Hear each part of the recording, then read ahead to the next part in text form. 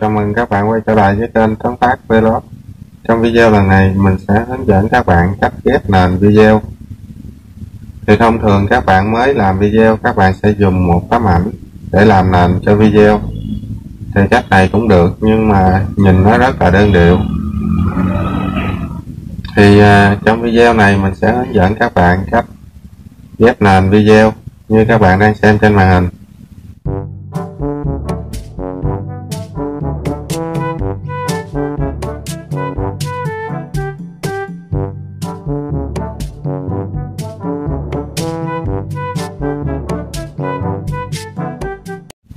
Nếu các bạn muốn biết cách ghép nền video như thế nào thì ngay sau đây mời các bạn cùng cầm điện thoại lên theo dõi thật kỹ và làm theo mình. Thì đầu tiên các bạn sẽ mở trình duyệt Google Chrome lên. Sau đó các bạn sẽ đăng nhập vào trang web pixabay.com. Thì đường link trang web này mình sẽ để dưới phần mô tả video này. Thì ờ, trang web pixabay.com là chuyên cung cấp hình ảnh, video và âm thanh miễn phí bản quyền cho các bạn sử dụng. Thì đầu tiên các bạn sẽ ấn vào phần ba gạch ở trên màn hình phía góc phải. Các bạn sẽ chọn vào phần video. Ừ, thì mình sẽ demo cho các bạn biết cách tải và ghép à, nền video của mình. Thì đầu tiên các bạn sẽ chọn một cái nền thích hợp với video của các bạn. Ví dụ mình chọn video đầu tiên.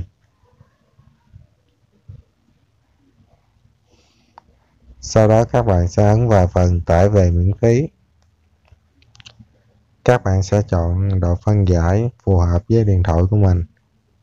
Ở đây thì mình sẽ chọn độ phân giải là 1080 và 720. Các bạn sẽ ấn vào phần tải về.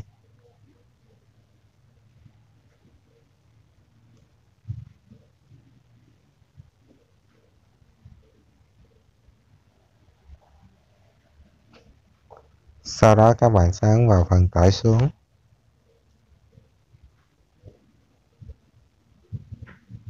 Thì như các bạn đã thấy video của mình đã được tải về thành công.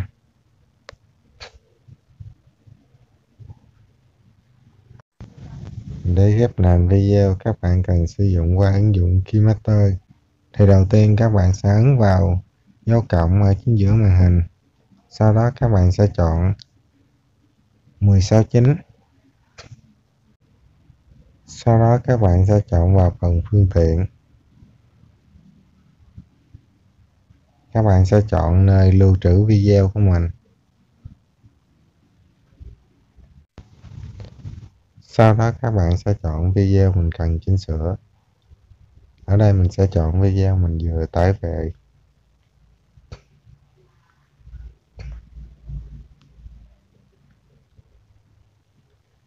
Tiếp theo, các bạn sẽ chọn vào lớp. Các bạn sẽ chọn vào phương tiện. Các bạn sẽ chọn nơi lưu trữ video của mình. Các bạn sẽ quay sẵn một video nền xanh như trên màn hình các bạn đang thấy. Các bạn sẽ chọn vào kiếm trồng trọt. Các bạn sẽ cắt cái khung hình nền này cho nó nhỏ lại vừa với cái uh, màn hình xanh mình đang quay. Các bạn ấn vào dấu tích ok. Tiếp theo các bạn sẽ chọn vào cái phần khung nền xanh. Các bạn kéo xuống phía dưới các bạn chọn vào phím chroma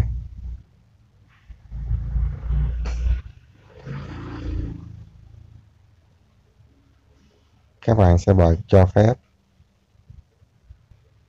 tiếp theo các bạn sẽ đẩy cái thanh phía trên về sau để mình à, làm mất cái nền xanh. Các bạn sẽ đẩy cái khung phía dưới lên trên tí xíu.